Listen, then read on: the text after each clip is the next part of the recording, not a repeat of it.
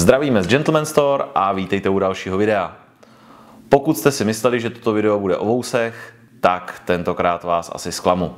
Ale doufám, že ne moc, protože dnes se budeme věnovat pokožce nad vousy, čili probereme nějak rozumně péči o obličej.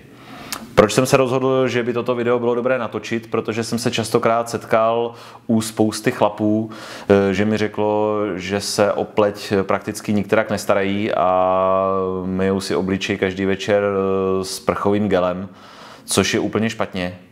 A přitom stačí opravdu málo k tomu, aby se ta pleť eh, podstatně zlepšila. Takže teď si to trošku pojďme uvést na pravou míru, co by měl správný gentleman dělat a jak se o pleť starat.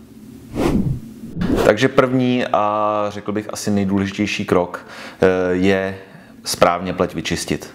Což eh, neznamená mídlem na ruce ani tím sprcháčem, protože tyto věci v sobě obsahují látky, které nejsou na pleť obličeje dobré a dost jí vysušují. Ta pleť má potom tendenci více se mastit, eh, být nekvalitní. Čili tady za mě velice důležité vybrat dobrý čistící gel, dobré čistící mléko. Eh, za sebe, za sebe třeba musím říct, že se mi eh, velice osvědčil Hawkins and Brimble. Eh, je to 150 ml, kvalitní, velice dobře pění, vydrží vám dlouhou dobu.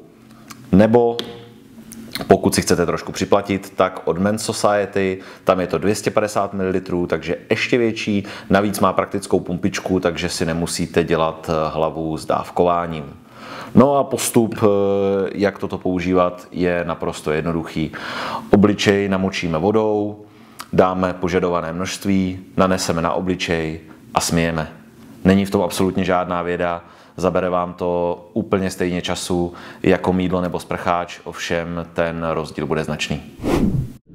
No a nyní máme pleť vyčištěnou a teď je potřeba ji nějak hydratovat. A k tomu slouží hydratační krémy. Každý máme typ pleti trošku jiný, ale u většiny mužů je smíšená, což znamená na některých místech velice suchá a na dalších převážně mastná. Takže ideální použít eh, nějaký pleťový krém právě pro smíšenou pleť. Eh, co můžu říct za sebe? Velice dobře se mě osvědčil od mistra Natyho. Je velice lehký, má příjemnou nevtíravou vůni, krásně se roztírá. Pokud máte pleť spíše suší, tak doporučuji zvolit krém od Morgens, který je daleko výživnější, více hydratuje, ale je o něco mastnější. Pokud se vám zase pleť hodně mastní, doporučuji zase od Hawkins Brimble krém pro masnou pokožku, kde ten mas vám ten krém vlastně absorbuje. No a pokud pojedete na lyže nebo na nějakou horskou túru v zimě, Doporučím eh, máslo od mistra Natyho, což je asi nejvíc mastný a hydratační produkt, co máme a je velice univerzální jak na rty, tak na pleť a bude vás chránit před velkými mrazy a pokožku vám perfektně vyživí.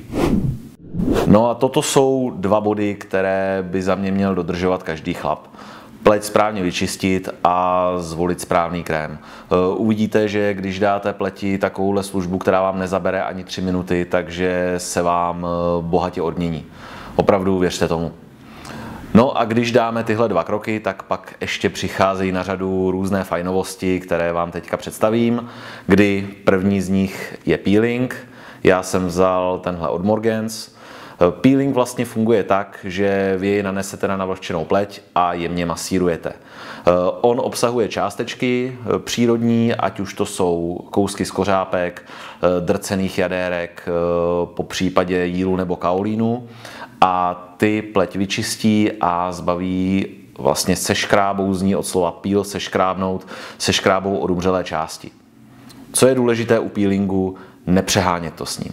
Stačí bohatě jednou týdně nanést, půl minutu až minutu masírovat, spláchnout a nanést váš oblíbený krém. A je to hotovo. No a pokud máte problémy s kruhy pod očima, ať už to bylo po probdělé noci, ať už prací nebo po párty, tak eh, ideální produkt za mě od DR Harrise, který se nanáší pod oční víčka. Tam je pleť velice citlivá, takže je na to potřeba opravdu zvolit eh, odpovídající produkt, aby eh, vám tu kůži nepodráždil. Stačí opravdu jenom lehce nanést pod oční víčko a zleva doprava vetřít.